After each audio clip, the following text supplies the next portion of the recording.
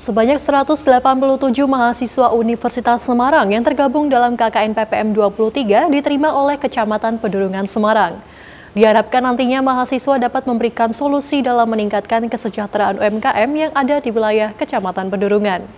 Baik pemirsa Wasam TV, saat ini saya tengah berada di Kecamatan Perdurungan karena saat ini tengah berlangsung jalannya upacara pelepasan mahasiswa KKN Universitas Semarang atau biasa disebut KKN PPM ke-23 dan saat ini tengah berlangsung uh, pemberian briefing kepada mahasiswa-mahasiswa yang nantinya akan diterjunkan di 12 kelurahan yang ada dalam lingkungan Kecamatan Pedurungan dan saat ini uh, upacara juga dibuka oleh Sekretaris Kecamatan Pedurungan yaitu Bapak Hendaryono SSTP MSI dan juga turut hadir dalam acara ini perwakilan dari Universitas Semarang yaitu Wakil Rektor 2 Universitas Semarang Ibu Dr. Titin Winarti Eskom MM.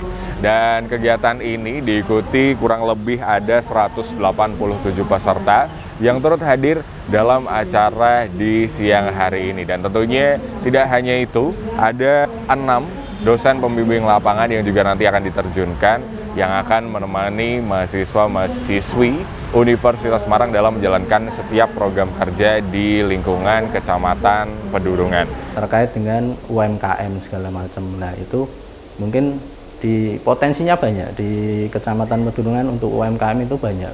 Di masing-masing kelurahan ada. Nah, tinggal yaitu tadi mungkin dari teman-teman dari adik-adik KKN ini bisa membantu pemasaran, packaging yang tadi disampaikan, kemudian ada pemasaran yang kalau anak muda itu kan biasanya sekarang medsos. Nah, medsos itu kan mungkin ada yang di sini sering main medsos. Nah harapannya itu membantu warga untuk me, apa ya memasarkan produk mereka UMKM-nya jadi maju. Nah ini kan kembali lagi eh, cita-cita eh, atau harapannya adalah kesejahteraan masyarakat ter, bisa tercapai gitu.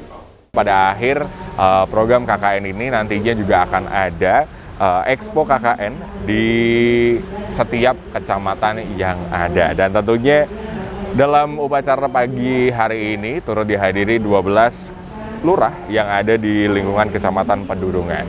Dan tentunya di pagi hari ini juga diharapkan mahasiswa ini dapat terjun ke lapangan, turut serta membantu masyarakat dan juga melaksanakan Tridharma Perguruan Tinggi.